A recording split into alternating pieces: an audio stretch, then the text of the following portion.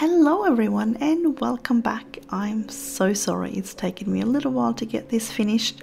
Had some things pop up, including three birthdays, so I'm a little bit behind. But today we are going to go ahead and finish off this little nature page in Small Victories by Johanna Basford, and I'm going to be using my Derwent drawing pencils again.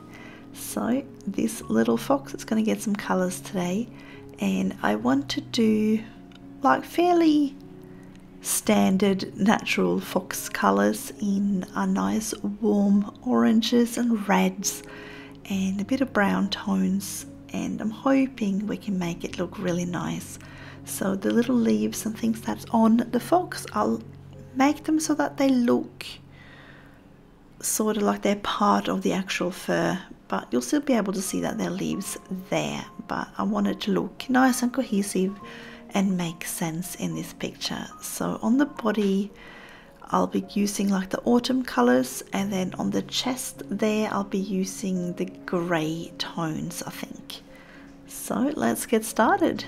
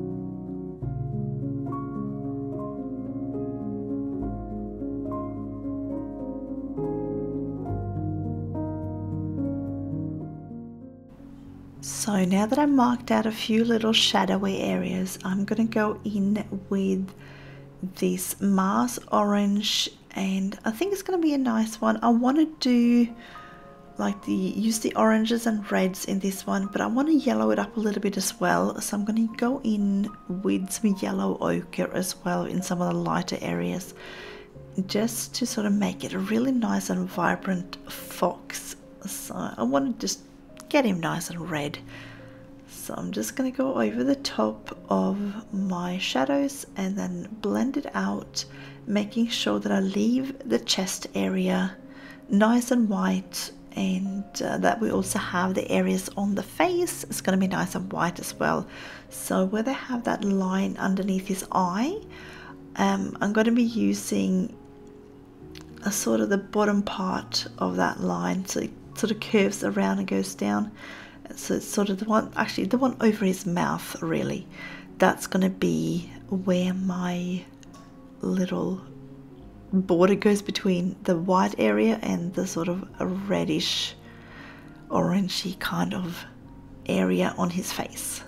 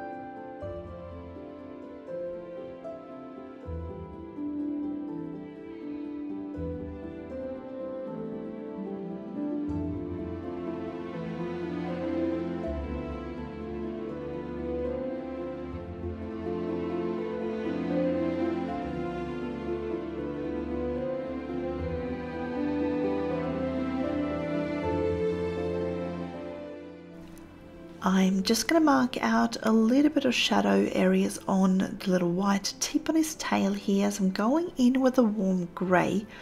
I might end up having to go in a bit later, sort of probably towards the end of this video with maybe a little bit of black if we need to make some deeper shadows but I might be able to just layer it with this one as well just because obviously with the Derwent drawing set it's only a set of 24 so there is a limited amount of colors to use. So you go in just go in light and then build up. So if I need to bring in my black I'm going gonna go in very very light later on just to make sure I don't go overboard because they're harder to take away these colors just because they they're very nice and soft so they do lay down a lot of pigment if you're not careful. Now, one of the things that I noticed when I was looking at sort of fox photos, because I did do that before colouring this fox in, was that especially in the white areas, it almost looked like there was a bit of a darker undercoat. So it was, what I could see was like down the very base it was some darker quite darker areas. So I want to make sure that especially on the chest that I get those darker areas in. So I'm just going to start now just gently with my grey and then I might add in as I mentioned before just some black layers a bit later on when I've got the rest of the fox kind of done. I you guys know me I tend to I don't just stick to one small spot on my picture. I kind of do the whole thing layer by layer. So I kind of build up the colors on the whole thing and then I go in and do another layer. So, which is probably a bit different than what you would do if you were doing, say, um, like the pastel, like the Pitt pastel pencils and those sort of things, because you don't want to keep rubbing over what you've already done because you're going to smush it out. But especially with this little tiny drawing here, I can definitely get away with it. So I'm going to build up colour on the whole fox layer by layer by layer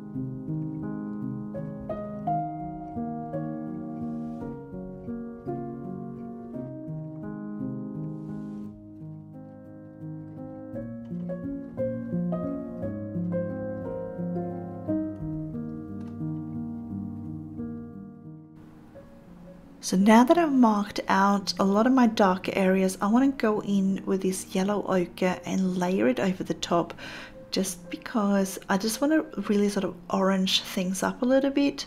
So by bringing this one over the top of my sort of terracottas, sanguine, all of those sort of colors, I'll get that nice warm glow in this fur and I think it's going to look really nice and that's one of the advantages I really think by having a set of 24 is that you need to get comfortable with blending out your colors the way you want because you're not going to find an exact match. You're going to have to blend and layer things until you're happy and that's how you're going to get that depth. Like obviously with my polychromos if I'm using those I can often find a shade that's relatively similar to probably what I would like but I can't do that with, with this one so I need to definitely get more comfort uh, comfortable with mixing out my own colors and uh,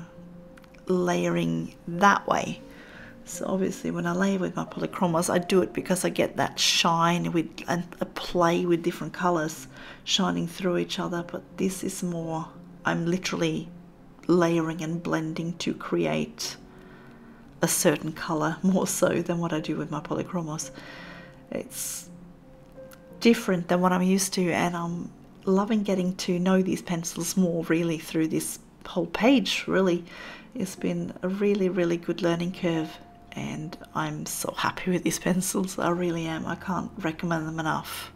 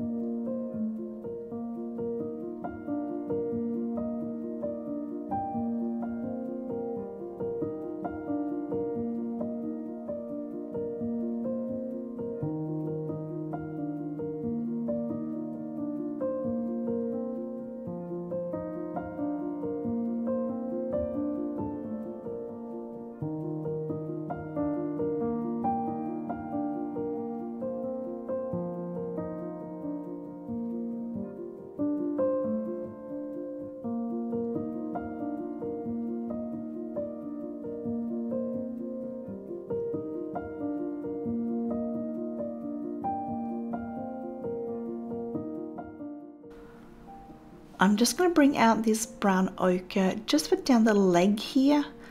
Um, what I could see on all of the different photos I was looking at of foxes is that their legs kind of go into this sort of grayish brownish kind of tone so I don't want that to be that sort of red orange kind of color so I'm just gonna mix in my greys and my brown ochre and get those sort of colors in that way now I want to use this sort of ruby earth down the bottom here because it's a nice dark rich color. It's beautiful. I really love this.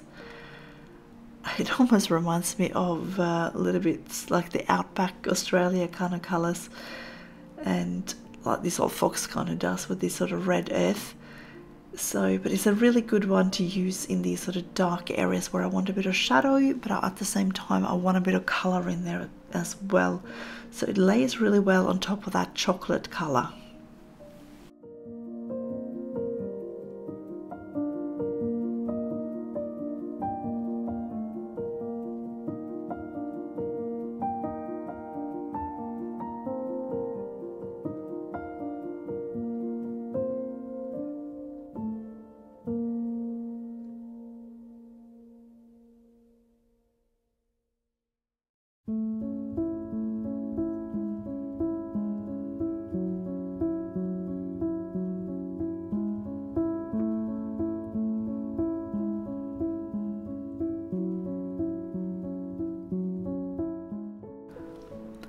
Alright, it's time to get serious with some shadows and add in that ivory black. Now, I've raved about this one before. It is a seriously fantastic shade of black. It is a good one, even if you were working with other pencils. You guys know, if you follow me for a while, you know that I love my Derwent Drawing Chinese White and the Ivory Black is another one that I really like and definitely works really well together with other pencils. So if you only buy two colors of the uh, Derwent drawing set, get yourself the Chinese white and the ivory black. They are absolutely awesome colors to use with any of your other sets.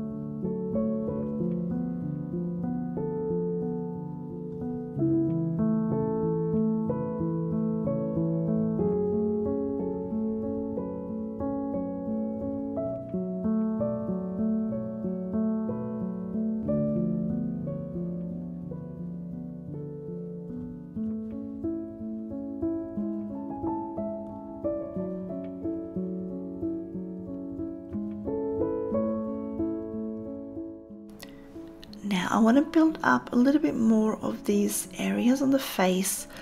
Um, again, I'm going back to what I mentioned, looking at reference photos. I saw some really nice sort of fox faces that had some beautiful dark areas on the nose and under the eye. So I really want to make sure that I bring that in and and get that depth of color and, and everything in this little fox. So get it looking even though he's got leaves and things all over him. I want to make sure he looks at least a little bit realistic. I don't know why I keep calling it him but maybe it's because of Fantastic Mr. Fox. I have no idea. But in my head all foxes are male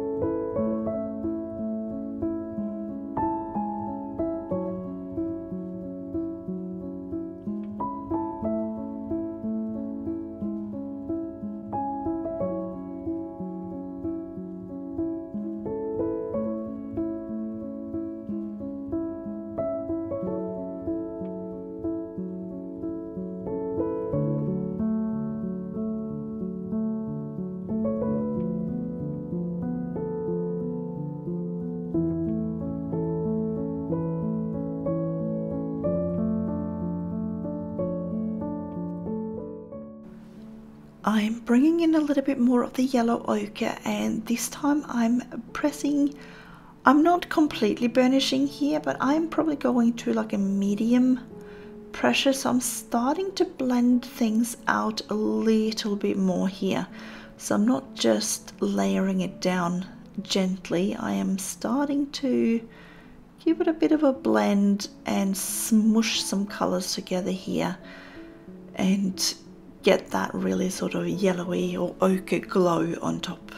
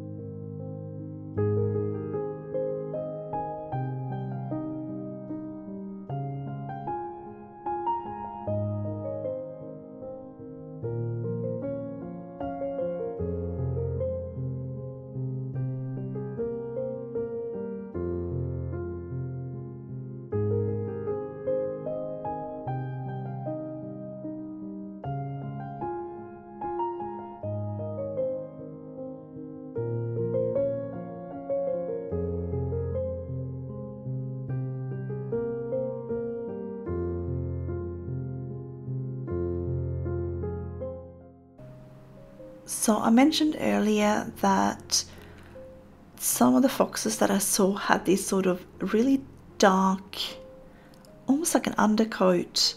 So I thought I'd bring that in in these little leaves here by having the leaves in like a grey, grey sort of white, but with that black just at the top here. You know when they have those tufts of fur?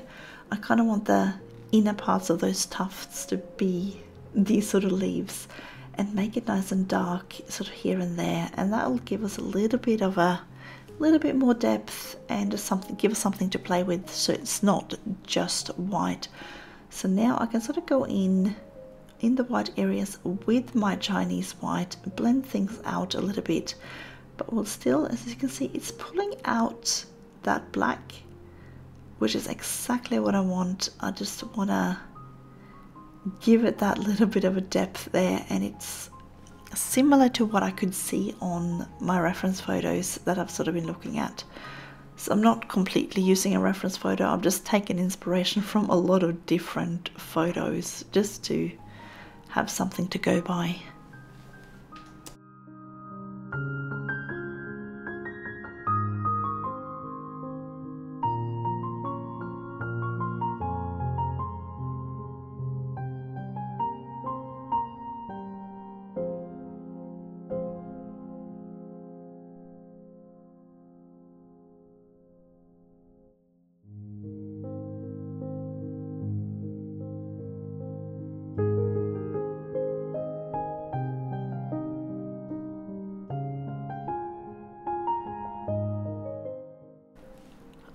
Darken up that mouth a little bit, bit again because I've seen that they, they kind of foxes look like they have a little bit of black lipstick on, which is a bit cute. So they got a pretty distinct blackness on, on their mouth there. So I'm just going to make that a little bit clearer on this picture. So a bit more of the yellow ochre. I'm going to do these little center leaves here just a little bit more yellow so I want the yellow to be the proper on undertone here just so it doesn't go completely in doesn't blend in completely with the fur but um, at the same time I'm gonna layer in some of the other colors as well so I can go in I'll do I'll just extend out this line here with the Venetian red and then we're going to blend that out with my Caran d'Ache blender pen a bit later. Sorry, that was not a blender pen, as a blender pencil I've got.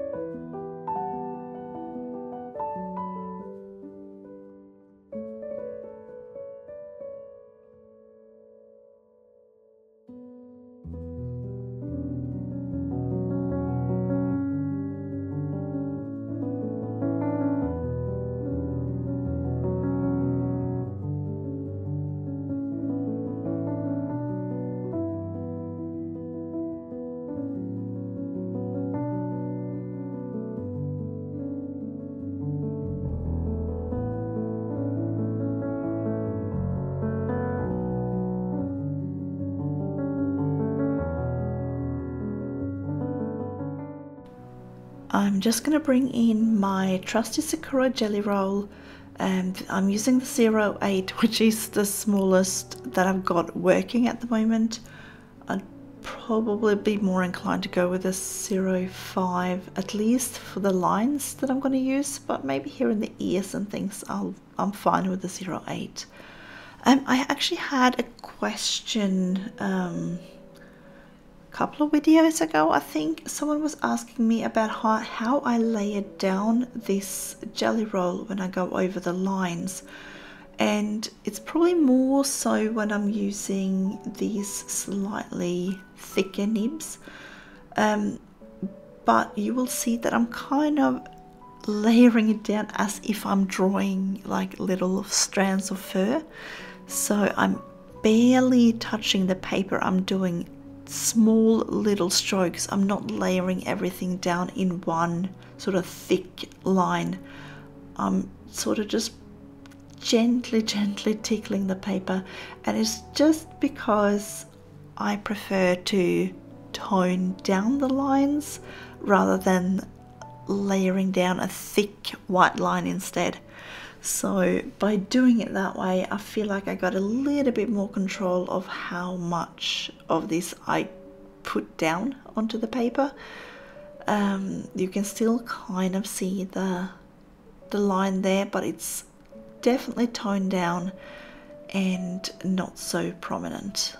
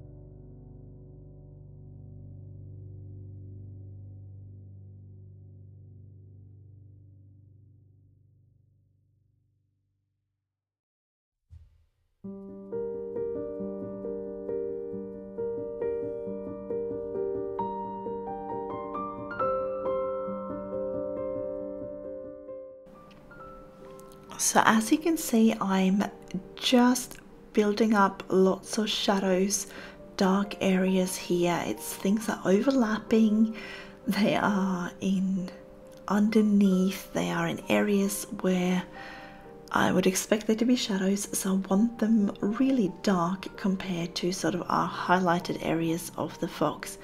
So I'm just making sure that I'm getting enough pigment down on the paper here as well as blending out sort of the really dark like my chocolate color there that's in the bottom here. So I just want to make sure that we don't have too much white tooth um, showing through. Now I want to just blend this with my white first and then I'm going to layer some other colors on top afterwards. But if you look at that so you can see it's it's more so the top part there that I am the highlighted part that I am sort of pulling out with my white but I don't know why I don't I just didn't feel like using the um, the light sienna on this one I just wanted a little bit more I don't know less color I'm not sure why I wanted to use the white but I did. So I just kind of wanted the same color but toned down a little bit more. So that's why I chose to go with that one and then we can add in colors on top of it after anyway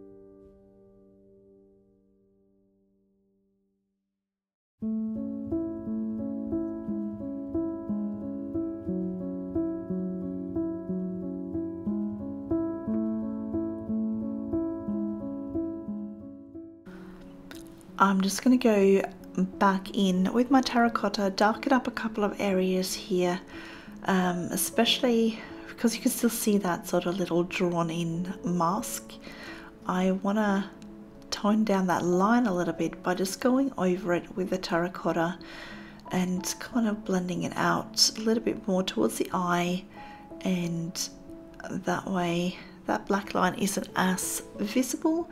I didn't want to go over it with my white because I felt like it would stand out even more by doing that.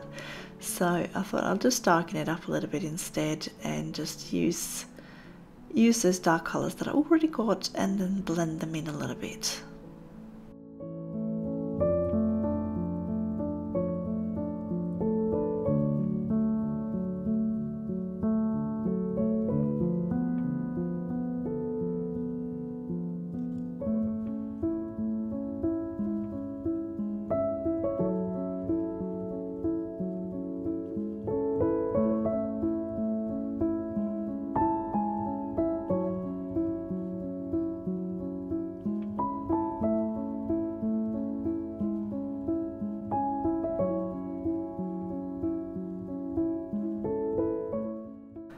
So I'm just gonna go over, especially the middle part here where I didn't push down as hard with the yellow. I kind of just did that um, at the top part before. So I just want to go over with my blender pencil and just mush it out a little bit. Go over those white, that white tooth, make sure that's not as visible. Make sure that everything kind of makes sense on this little fox and um, yes I'm just sort of going over all my areas reducing. You can see how much more as soon as I go over it the um, the color kind of brightens up even more which is really good. That's one of the ways you can save a lot of time with your colouring is by using a blending medium of some sort. So whether that is a pencil, a pen, um, some sort of liquid like a uh, odorless mineral spirit or something like that, um, that will save definitely save you a bit of time. On a picture that's tiny like this, a pencil or a pen is probably your best bet. I think anything that needs to be put down with a paintbrush, I feel is going to be a little bit too fiddly with something this small, but this pen works really, really well. So, uh, yeah, I'm just going to add in a little bit of a shadow just underneath the fox here. Um, I just want to make sure that, you know, it actually looks like it's sitting on something, that there is a bit of a an area underneath him.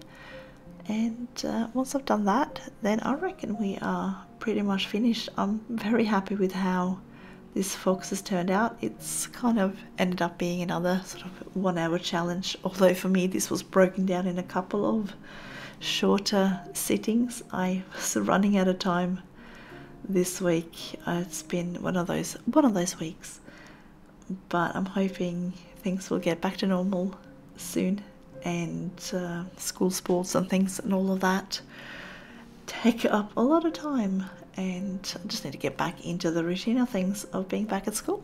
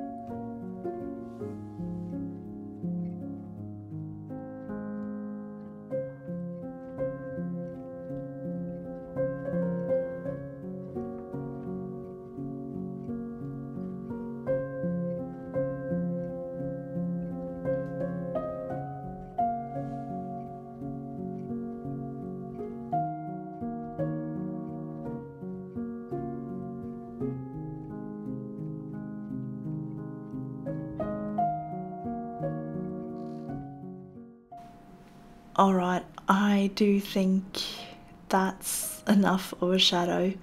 So let's just do a quick little zoom out here and we've got our fox all finished. I think we worked in those leaves really well by having him in the little autumn tones and uh, yeah I'm very happy with how this little fox turned out I think he's really cute maybe he's gonna go out hunting as long as he's not getting hunted himself and there is our finished picture I'm really really happy with how the Derwent drawing pencils did for this page I love those muted natural tones.